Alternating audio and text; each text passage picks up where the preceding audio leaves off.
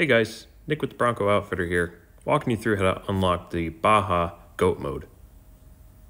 Go ahead and plug in your OBD2 to computer interface cable.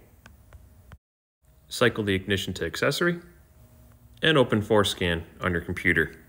Now we're going to want to locate the microchip. Select the ABS module as built, and you're going to go ahead and click the play button at the bottom.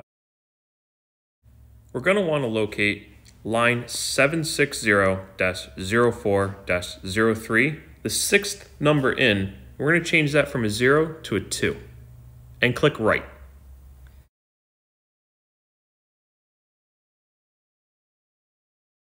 After the vehicle has reset itself, it's safe to disconnect. We want to make sure we cycle the ignition.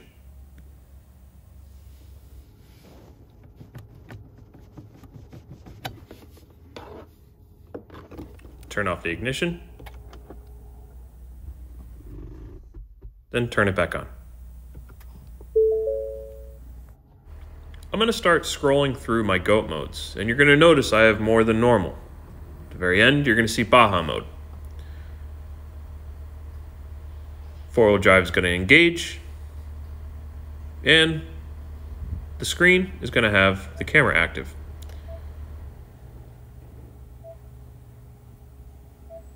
As I select through all the different camera views, you can see that they're working properly.